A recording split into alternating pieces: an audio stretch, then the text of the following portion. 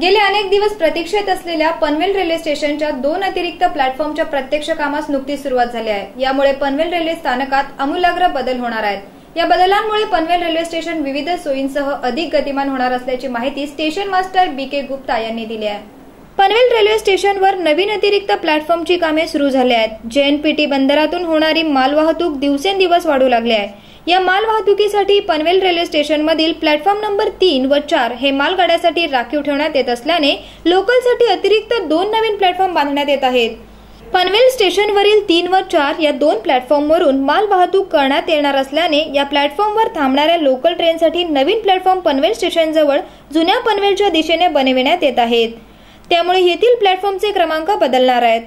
नवीन बनणारे प्लॅटफॉर्म एक व दोन क्रमांकाचे असणार आहेत. तसेच रेल्वे कार्यालयाकरिता नवीन पाच मजली इमारत बांधण्यात येणार आहे. त्यामुळे पनवेल स्टेशनची व्याप्ती अधिक वाढणार आहे. या प्रकल्पास साठ कोटी रुपये इतका खर्च येणार असून संपूर्ण खर्च रेल्वेच्या माध्यमातून करण्यात येणार आहे. त्यामुळे लवकरच पनवेल स्थानकाचा कायापालट होणार आहे.